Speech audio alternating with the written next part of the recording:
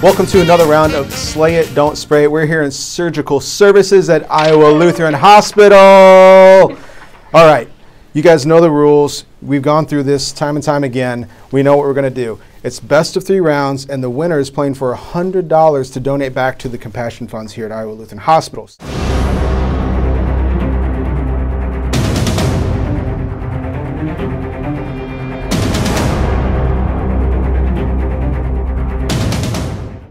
So, round number one, song number one, let's play it.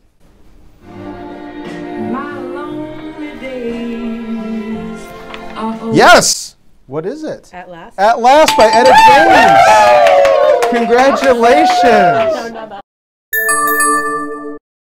What do you have for me? Say a, Yes, say a prayer for you. we're going to accept that. Yes.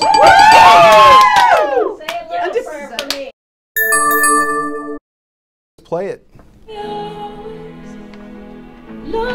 Yes. I was. I will always love you. I I will always love you by Whitney Houston. That is the right answer.